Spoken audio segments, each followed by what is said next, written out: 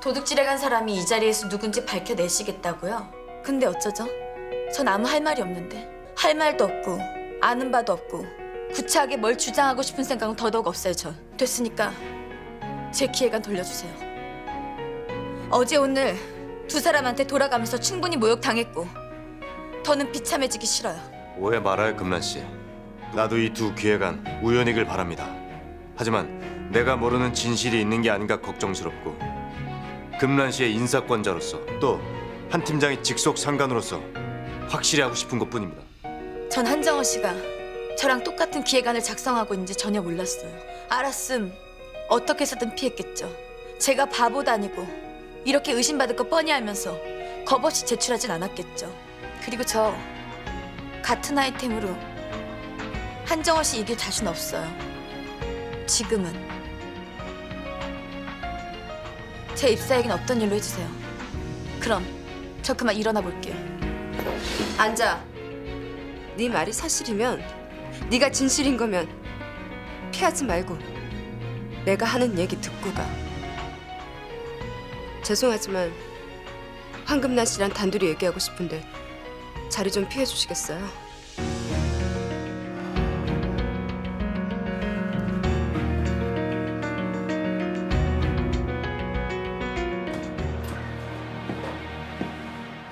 사무실은 아래층인데 여기서 뭐 합니까? 네, 그게 저 안에 우리 애들이 같이 있다고 해서 우리 애들이라뇨? 저는 물론이고 이 출판사 안엔 애들은 없습니다만 송 편집장님이시죠? 저 정원이랑 금란이 삼촌 된 사람입니다. 물론 한전무 그 자식도 제 조카 녀석이고 한 팀장 삼촌 이라고? 정원이한테 꼭 해줄 말이 있어서 왔습니다. 아, 아니요. 어쩌면 금란이한테 말해야 되는 게 아닌가 싶기도 하고. 네가 날 우습게 생각하는 것까진 좋은데 내 일 우습게 보지 마. 네가 당장 뺏고 싶은 건 나겠지만 네가 결국 되고 싶은 건 아빠잖아. 아빠처럼 근사하게 늙고 싶다고 했잖아. 그럼 첫 단추 이런 식으로 깨지 마. 우리 일 이런 식으로 시작해서 될 일이 아니야. 네 거라고 생각하면 그래. 나한테서 뭐든 가져가. 돌려주겠다고. 근데 내 일은 아니야. 이건 네 게 아니야. 무슨 말이 하고 싶은 건데? 네가 가져간 내 다이어리 속지 돌려줘. 돌려주기만 하면 이번 일 그냥 넘어갈게. 아무한테도 얘기 안 해. 얘기해. 아무한테나 다 얘기해. 난 안 가져갔으니까. 한평생 남의 인생 도둑질해간 주제에 그깟 다이어리가 뭐라고. 도둑녀는 내가 아니라 너야. 아직도 모르겠어? 나한테 정말 중요한 거니까 돌려줘. 넌 어떻게 돌려줄 건데? 네가 훔쳐간 내 인생 어떻게 돌려줄 생각인데? 돌려줘. 내 인생부터 돌려줘. 너부터 돌려달란 말이야. 기획안 심사는 어떻게 됐습니까? 기획안 심사 관련해 무슨 할 말이라도 금란아.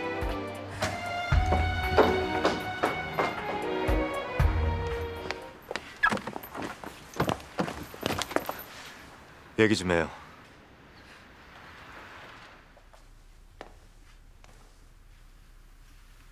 삼촌, 여긴 웬일이야? 금란이랑은 싸운 거야? 그렇지 뭐. 뭐 때문에 싸웠는지 물어봐도 돼? 그냥 싸웠어. 걸핏하면 팩하잖아 내가.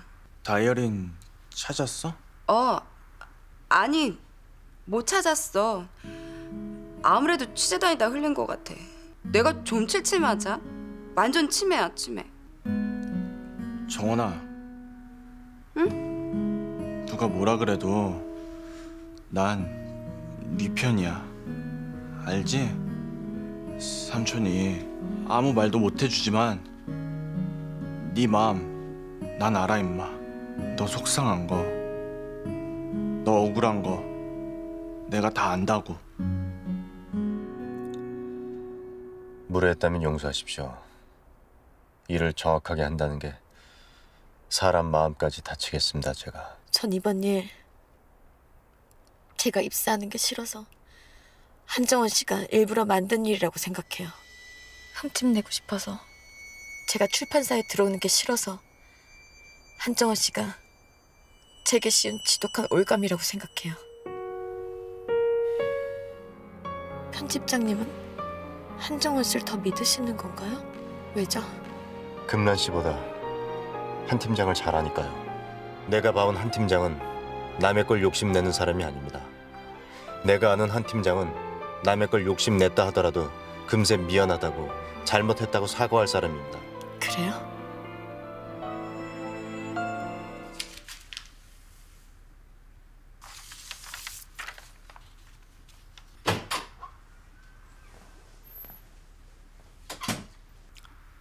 바람 좀 쐴시다.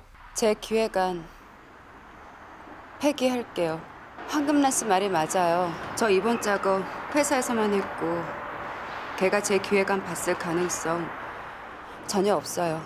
그럼 한 팀장이 황금란 씨 기획안을 미리 보고 같은 기획안을 제출한 겁니까? 일부러 의도적으로 황금란 씨를 떨어뜨리기 위해서? 믿고 싶은 대로 믿으세요. 전 상관없으니까. 어떻게 상관이 없습니까? 내가 한 팀장을 오해할 수도 있는데 전 편집장님 믿으니까요. 날 믿어줄 거라고 그렇게 믿으니까.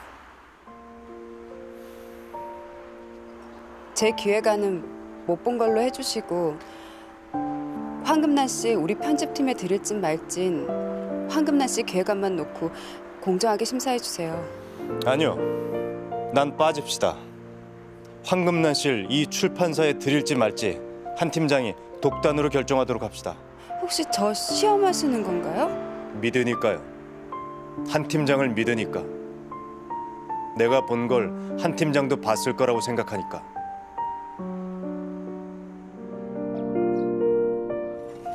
미란이는 몰라.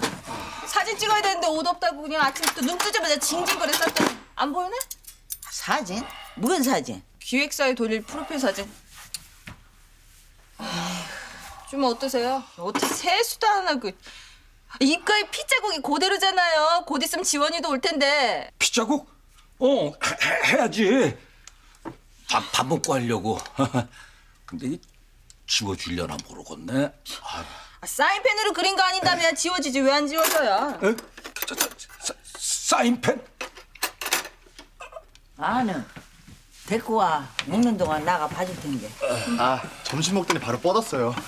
자식이 밤새도록 안 자고 칭얼칭얼 괴롭. 아저씨, 아니 왜? 아, 나 꿈들한테 습격당했어. 아, 아 예. 불어, 언능들 먹어. 어, 어. 저, 아, 아저씨, 왼손으로 드실 수 있으시겠어요? 어, 어, 왼손, 왼손으로 먹어봐야지. 어.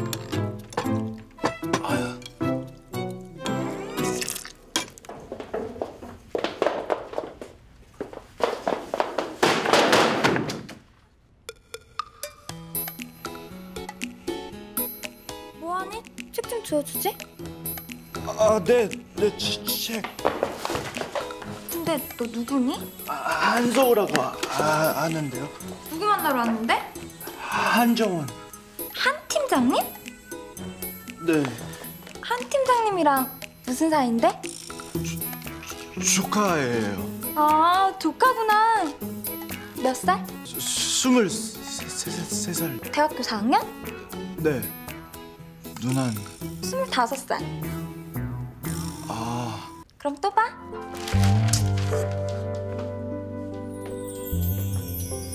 어? 왜 또 와? 밥 먹으러 가자. 아니 밥안 먹는다며 밥 먹을 기분 아니라며 먹자. 제발 삼촌이랑 밥 먹으러 가자. 알았어 뭐 먹을래? 구내식당 밥이 꼭 먹고 싶구나, 상훈아. 삼촌 진짜 왜 그래 뭐에 꼭 홀린 사람처럼 상훈아, 25 빼기 18이 얼마더라? 7 7? 7씩이나 돼? 7이란 말이지?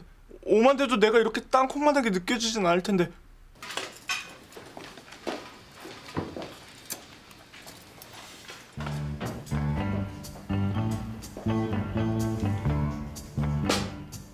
저기 맛 창가로 가자 창가로 절로 절로 갑시다 팀장님 아주 특별히 햇살이 잘 들어오네 저기 저기 자리 좋다 편집장님, 저희들 여기 앉아도 될까요?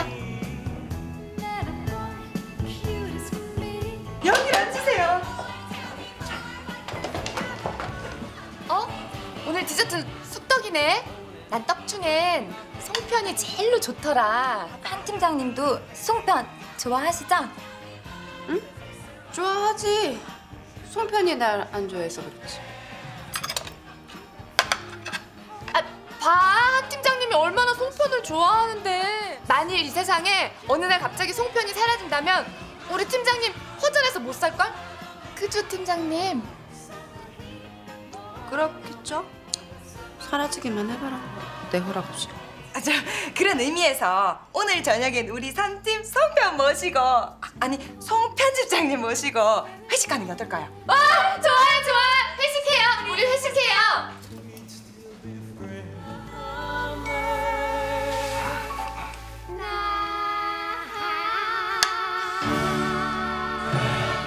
아, 뭐해? 빨리 가. 가 간다고.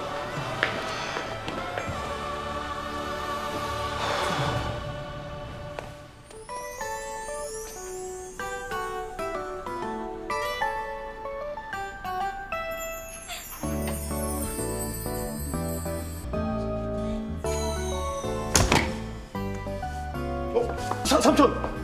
피해. 어, 그 코, 코, 코, 코, 코피 나오잖아. 아파? 어디가 아파? 아, 내 심장이 잠깐만, 자, 잠깐만, 119, 119, 119. 여보세요? 아 여기 파주 축구단지 지혜숲인데요. 여기 긴급 환자인데 빨리 좀 와주세요. 금난이 지금 집에 없는데 다음에 와요. 언니랑 약속하고. 응? 저요. 뭐 좀 부탁할 게 있어서 온 거니까 오늘 꼭 만나고 가야 돼요. 뭐 상상했던 것보단 별로네.